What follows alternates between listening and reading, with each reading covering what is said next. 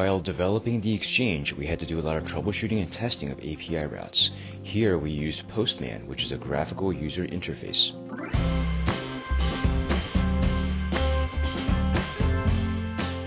To create, test, and simplify HTTP requests to our Express server, like the GET, POST, PUT, and DELETE methods to communicate with our cloud database.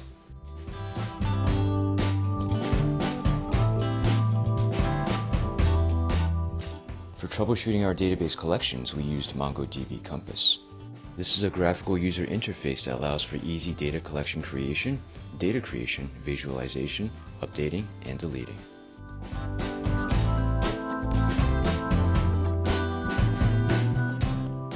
For application hosting, we chose to go with a Heroku deployment. Docker was not used. The challenge was how to get the files deployed to Heroku. Homebrew was used to install the Heroku command line interface. We then log into Heroku and use git to initialize a repository and make our first commit. We then add our remote Heroku repository and use git to push our main branch to Heroku. Final step is to configure the Heroku environmental variables. We also wanted the source code and README to be easily available for review, so we added a GitHub remote repository, created a main branch, then did a git push origin main.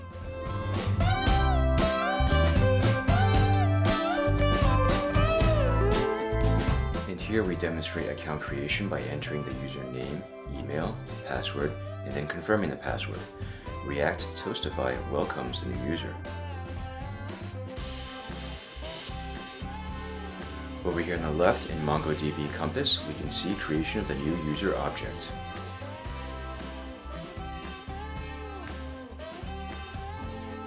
Returning user can log in by entering their email and password, which is then verified against the database. Once authenticated, users can make deposits and withdrawals. Each transaction shows up as a transaction object in the database.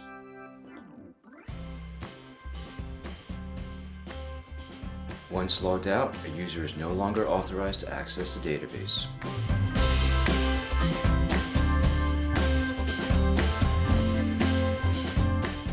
Additional features developed for user convenience includes changing a forgotten password, as well as deleting a user. Challenges included developing and testing the API routes, as well as database modifications. Did you forget your password? No problem. Just give us your email, new password, and then confirm. We'll take care of the rest.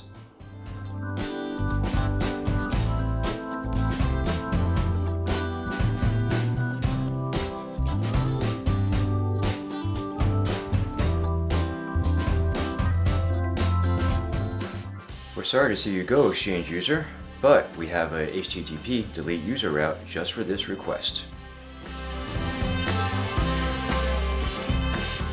User experience, packages were brought in from React Icons and React Toastify. And for some real-world functionality, we use Axios to pull in exchange rate data from CoinGecko. Challenges include rendering the data into a horizontally scrolling stock ticker, as well as using it for a functional currency calculator.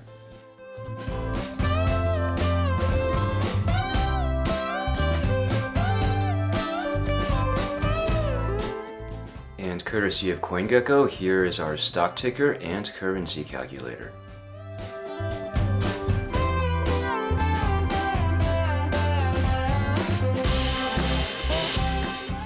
Developer reflections on the code structure. If I started today,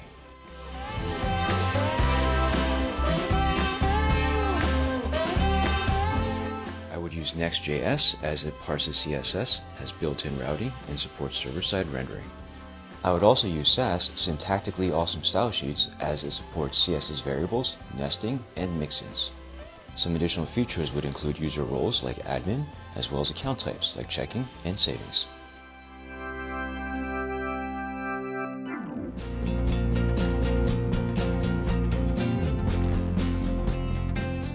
Thank you for checking out my video and visiting the MIT Exchange.